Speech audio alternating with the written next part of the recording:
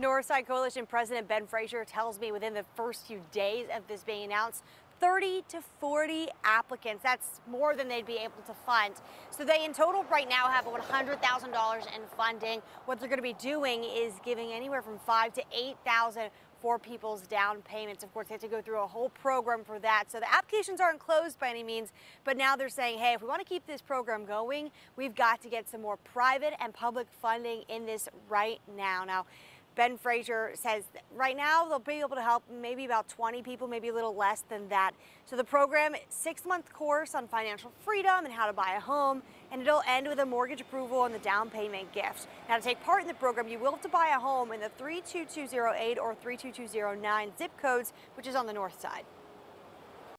There's a need for massive and major and Marshall Plan revitalization and redevelopment in these communities that need the help the most.